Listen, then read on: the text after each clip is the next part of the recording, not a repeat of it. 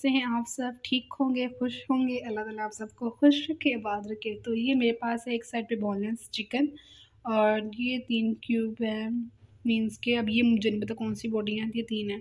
तो ये मेरे पास बोनलेस चिकन हो गया वन के जी ओके और ये मेरे पास है मसाले, ये है हमारे पास सूखा धनिया, ये रहा हमारा ज़ीरा और ये दालचीनी जो थी है, वो, और ये काला नमक नमक सिंपल और ये है वाइट मिर्च ब्लैक मिर्च white pepper and black pepper हो गया। और ये है हमारे पत्ते ओके हो गया। और ये हमारी काली मिर्च जो बड़ी होती है वो। और ये हमारी होगी दो लाचियाँ ठीक है? आप देख सकते हैं।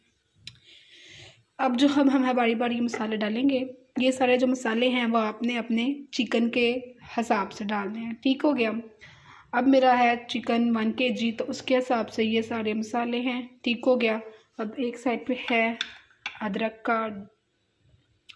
ये है लहसुन, और लहसुन है हमारे पास डेढ़ चम्मच, और ये अदरक है, ये इसका डेढ़ चम्मच। तो ये तीन से चार हैं। ब्रीक हुई हुई वो हरी मिर्चें, और ये हमने ऊपर अदरक को और हरी मिर्चों को जब रेडी हो जाएगा ऊपर डालिए गिनाश के लिए, ठीक है? और ये है हमारे पास, एक भरा और एक छोटा प्याज। और जो हमारी मशीन है ना, उसमें ठीक तरीके से ग्राइंड नहीं होता, इसलिए मैंने थोड़ा पानी डाल के इसको ग्राइंड किया था, इसलिए थोड़ा ज़्यादा लग रहा है। तो अगर आप ग्राइंड करेंगे तो पानी डाल के कीजिएगा आप, ताकि आपका अच्छे तरीके से चॉप हो जाए ब्रीक ब्रीक, जिस तरह ये ब्री ब्रीक हुआ ठीक है? अब हम बनाने लगते हैं अपनी वाइट कढ़ाई। ठीक है? वीडियो को फुल देखना आपने। बसमीम अब हम बनाने लगे हैं अपनी वाइट क्रीमी कढ़ाई। तो सबसे पहले मैंने इसमें डाल दिए तीन पत्ते, बड़ी इलायची, छोटी इलायची, ज़ीरा, इसको लाइट सा अपने ब्राउन करना है और अपने इसमें डालना है प्याज। प्याज को अपने हल्का हल्का पिंक करना है। आपने ज़्यादा इसको लाल नहीं करना क्योंकि जब हम वाइट कढ़ाई बनाते हैं, उसमें हमें पिंक पिंक सा प्याज को करना है, ज़्यादा रेड नहीं करना। ठीक है, गया। अब आपने इसमें डालना है चिकन। चिकन को आपने प्यारा सा पिंक कलर देना है इसको फ्राई करके। और अगर आपकी कढ़ाई का नीचे से बर्तन लगता है तो आप इसमें और नमक डालें थोड़ा सा ताकि आपके नीचे जो बोटियाँ वो लगे ना।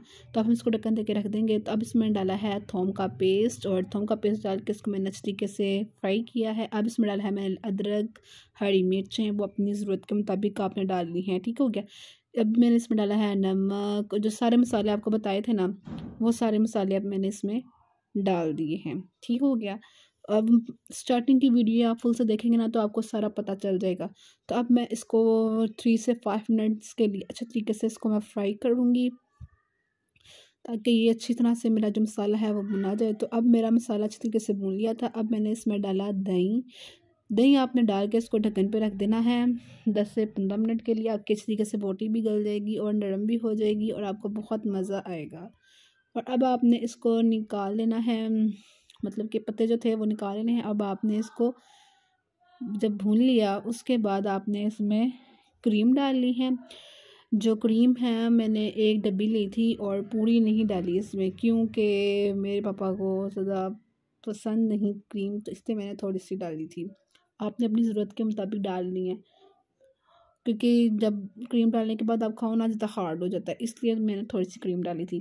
तो अभी इसको ना थोड़ा सा क्रीम डालने के बाद आपने इसको हिलाना है। हाँ एक और बात याद रखनी है, जब आपने क्रीम डाली है ना, उसके बाद आपने अपने चूल्हे की आँच बिल्कुल दम से भी ज़रा सी हल्की कर लेनी है। ठीक हो गया, क्योंकि जब आप क्रीम डालते हैं ना तो ये ख़राब ना हो गई। तो तब आपने दम पे इसको पकाना है। तो गिनाश करने के लिए आपने हरी मिर्च, अदरक जो डालनी है, उसके बड़ी स्लाइस करके वो अपने ऊपर रख लेने हैं। अगर आप इस पर दम देना चाहते हो कोयले का तो कोयला एक आपने अलग से साड़ना है उसको और उसको रखना है। ठीक हो गया।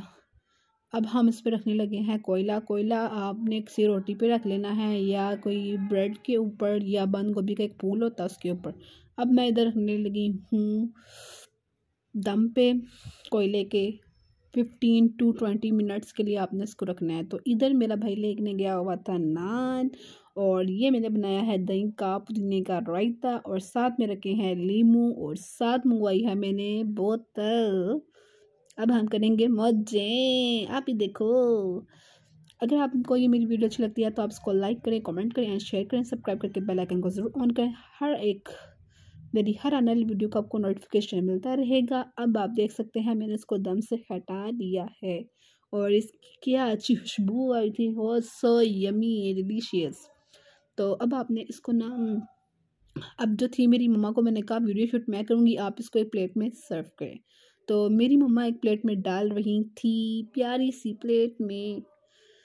तो इधर हमने इसको रेडी कर लिया था। इसके ऊपर हल्की सी मैंने कहा, थोड़ी सी क्रीम डाल। लें ताकि अच्छा लगता है। दुआ में याद रखना। मिलते हैं नेक्स्ट व्लॉग में। अल्लाह हाफिज़।